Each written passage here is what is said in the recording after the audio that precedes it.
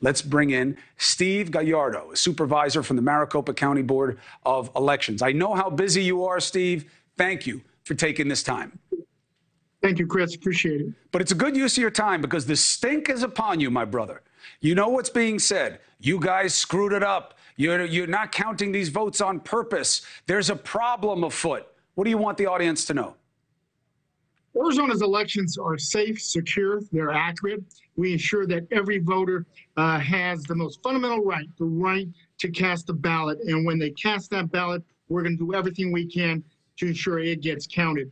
Uh, yes, we had record turnout uh, this primary election. A number uh, of Republicans, Democrats, Independents went to the polls to exercise that right. It is our responsibility to ensure that every ballot counts.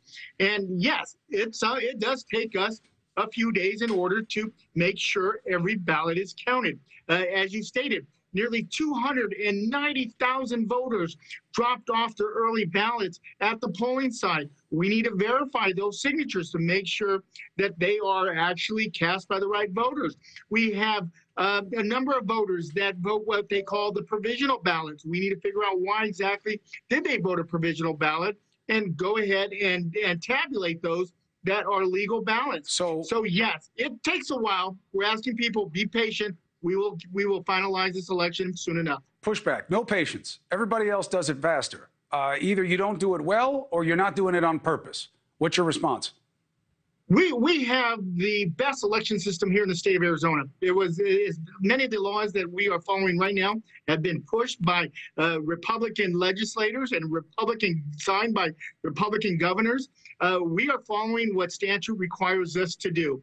Uh, we're going to ensure that every ballot is cast. I understand uh, you're going to have folks that are very anxious. They want to see the results.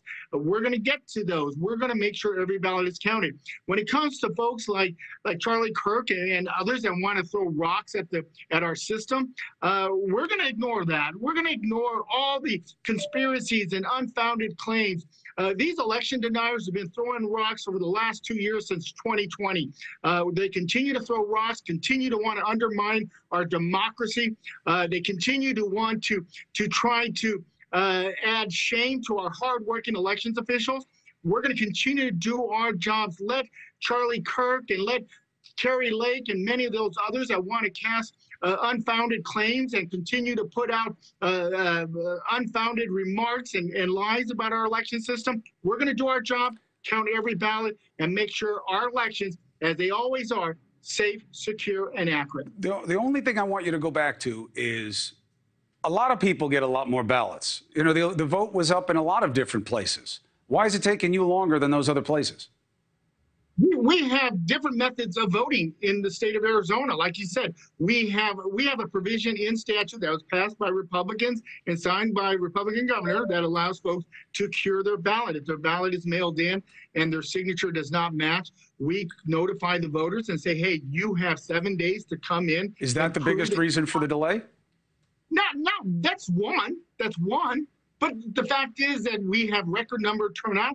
The fact is we have multiple ways of voting, not just on election day, but to be able to turn in their ballot all the way up to 7 p.m. on election night. Uh, so there's a lot of different areas that we're having to to uh, to to look at. We take pride in ensuring that every voter has the right to cast their ballot. Every voter uh, has the right to be able to have access to that ballot box. No voter is denied. We're going to make sure every ballot is counted. So you haven't had any uh, legitimate reports of any kind of fraud or stolen ballots or missing ballots or any type of intrigue that has the state investigating for problems? None, none whatsoever. And when will there be results, Steve?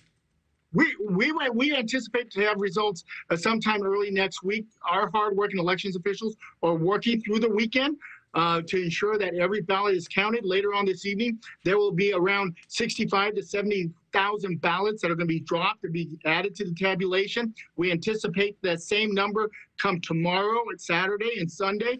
We will continue to count ballots and drop them off or add to the totals all the way up until uh, all the ballots are counted. And we anticipate sometime early next week we will have those ballots counted. Steve, I appreciate it. Hey, thank you for watching please go to newsnationnow.com, newsnationnow.com, And you can find News Nation on your television provider. And don't forget to click the red subscribe button down below.